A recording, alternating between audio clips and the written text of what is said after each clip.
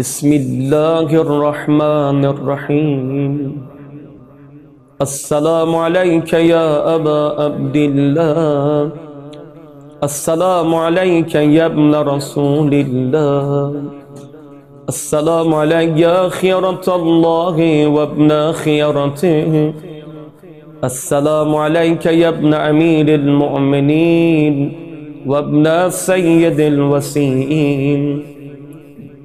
السلام عليك يا ابن فاطمة سيدة نساء العالمين. السلام عليك يا سار الله وابن سار والبتر الموتور. السلام عليك وعلى الأرواح التي حلت بفنائك عليكم مني جميعا سلام الله. أبدا ما بقيت وبقي الليل والنهار. يا أبا عبد الله لقد عظمت الرزية وجلت وعظمت المصيبة بك علينا وعلى جميع أهل الإسلام. وجلت وعظمت المصيبة في السماوات على جميع أهل السماوات. فلعن الله أمة أسست أساس الظلم والجور عليكم أهل البيت. ولعن الله أمة دفعتكم عن مقامكم وأزالتكم عن مراتبكم التي رتبكم الله فيها. ولعن الله أمة قتلتكم. ولعن الله الممهدين لهم بالتمكين من قتالكم. بريت إلى الله وإليكم منهم. ومن أشيائهم وأتباعهم وأوليائهم. يا أبا عبد الله إني سلم لمن سالمكم وهرب لمن حاربكم إلى يوم القيامة. ولعن الله آل زياد وآل مروان ولعن الله بني أمية قاتبا ولعن الله ابن مرجان. ولعن الله عمر بن السادم ولعن الله شمران ولعن الله أمة أسرجت وألجمت وتنقبت لقتالك. بأبي أنت بأمي لقد أضم مصابي بك. فأسأل الله الذي أكرم مقامك وأكرمني بك أن يرزقني تلب السالك. مع إمام منصور من أهل بيت محمد صلى الله عليه وآله. اللهم اجعلني عندك وجيها بالحسين عليه السلام في الدنيا والآخرة. يا أبا عبد الله إني أتقرب إلى الله وإلى رسوله وإلى أمير المؤمنين وإلى فاطمة وإلى الحسن وإليك بموالاتك وبالبراءة ممن قاتلك ونسب لك الحرب وبالبراءة ممن أسس أساس الظلم والجور عليكم وأبرغ إلى الله وإلى رسوله ممن أسس أساس ذلك وبنى عليه بنيانه وجرى في ظلمه وجوره عليكم وعلى أشيائكم بريت إلى الله وإليكم منهم وأتقرب إلى الله ثم إليكم بمبالاتكم ومبالاة وليكم وبالبراءة من أعدائكم والناصبين لكم الحار وبالبراءة من أشيائهم وأتباعهم إني سلم لمن سالمكم وحرب لمن حاربكم وبلي لمن والاكم وعدو لمن آداكم.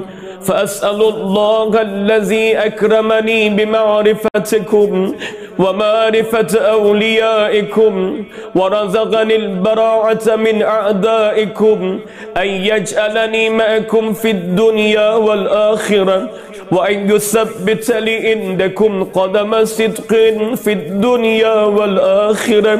وأسأله أن يبلغني المقام المحمود لكم عند الله وأن يرزقني تلمساني مع إمام هدى ظاهر ناتغ بالحق منكم وأسأل الله بحقكم وبالشأن الذي لكم عنده أن يؤتيني بمصابي بكم أفضل ما يؤتي مصابا بمصيبة مصيبة ما أعظمها وآذم رزيتها في الإسلام وفي جميع السماوات والأرض.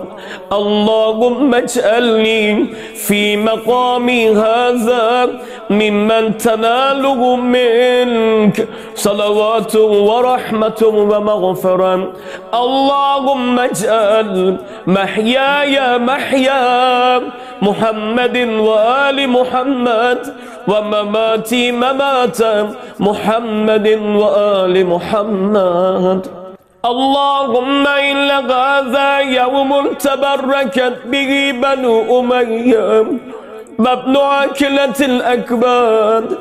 الليل ابن الليل على لسانك ولسان نبيك صلى الله عليه وآله في كل موطن وموقف وقف فيه نبيك صلى الله عليه وآله. اللهم لعن أبا سفيان ومعاوية ويزيد بن معاوية عليهم منك اللعنة أبد العابدين. وهذا يوم فرحت به آل زياد وآل مروان. بقتلهم الحسين. صلوات الله عليه. اللهم فضاعف عليهم اللعن منك والعذاب الأليم. اللهم إني أتقرب إليك في هذا اليوم وفي موقفي هذا. وأيام حياتي بالبراءة منهم واللعنة عليهم وبالمبالاة لنبيك وآل نبيك عليهم وعليهم السلام. اللهم لعن أبل الظالم ظلم حق محمد وآل محمد وآخر تابع له على ذلك. اللهم لعن الإصابة التي جاهدت الحسين وشايعت وبايعت وتابعت على قتلهم. اللهم لعنهم جميعا. السلام عليك يا أبا عبد الله وعلى الأرواح التي هلت بفنائك. عليك مني سلام الله. أبدا ما بقيت وبقي الليل والنهار. ولا جعله الله آخر الأهد مني لزيارتكم. السلام على الحسين وعلى علي بن الحسين وعلى أولاد الحسين وعلى أصحاب الحسين. اللهم خص أنت أقبل الظالم باللأن مني وابدأ به أولا ثم لعن الثاني والثالث والرابع. اللهم لعن يزيد خامسا ولعن عبيد الله بن زياد وابن مرجان وعمر بن سعد وشمران وآل أبي سفيان وآل زياد وآل مروان إلى يوم القيامة. اللهم لك الحمد حمد الشاكرين لك. على مصابهم الحمد لله على عظيم رزيتي اللهم ارزقني شفاعة الحسين يوم الورود. وثبتني قدم صدق عندك مع الحسين وأصحاب الحسين الذين بذلوا مهجهم دون الحسين عليه السلام.